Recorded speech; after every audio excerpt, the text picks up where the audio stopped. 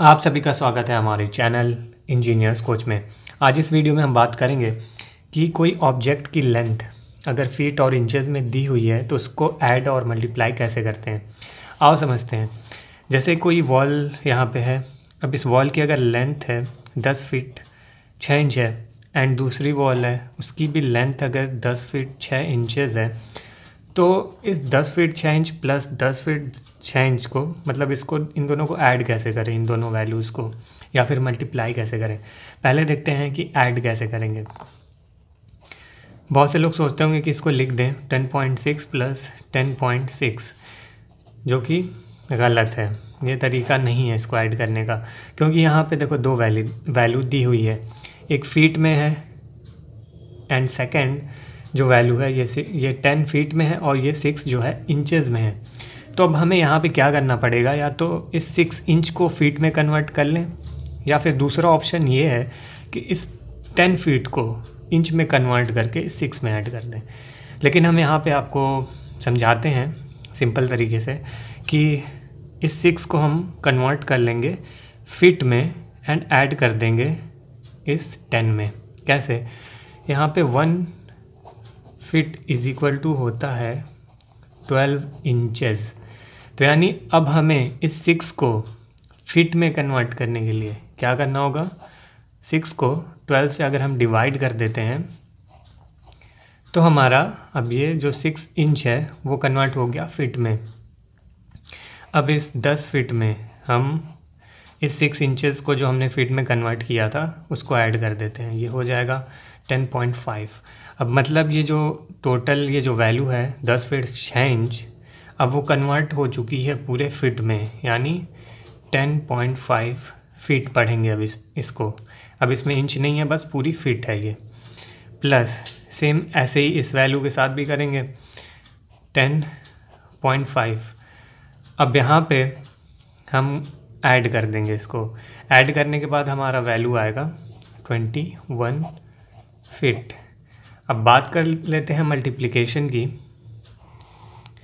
मान लेते हैं ये कोई रूम है, इसकी डायमेंशन है ten feet six inches and ये ले लेते हैं इसकी length twenty feet six inches अब हमें फाइंड करना है अगर इसका एरिया एरिया तो एरिया का फार्मूला आप सभी को पता होगा लेंथ इनटू विड्थ कर देते हैं। अब यहाँ पे लेंथ जैसे गिवन है ट्वेंटी फीट सिक्स इंचेस तो अब इस सिक्स इंचेस को भी हमें कन्वर्ट करना होगा फिट में और ट्वेंटी में ऐड कर देना होगा।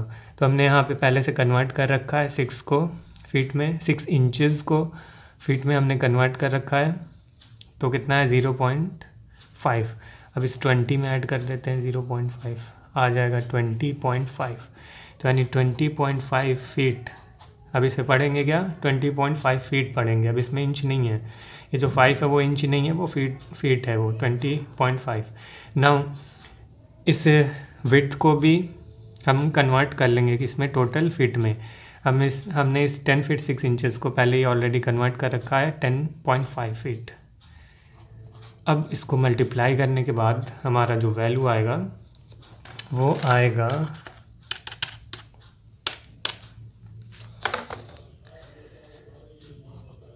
two hundred fifteen point twenty five square feet अगर हम क्या करते कि इस टेन इस व, इस लेंथ को टेन पॉइंट सिक्स लिख देते और ट्वेंटी पॉइंट सिक्स लिख के ऐसे अगर मल्टीप्लाई कर देते तो लगभग कुछ स्क्वायर फीट का उसमें फ़र्क आ जाता।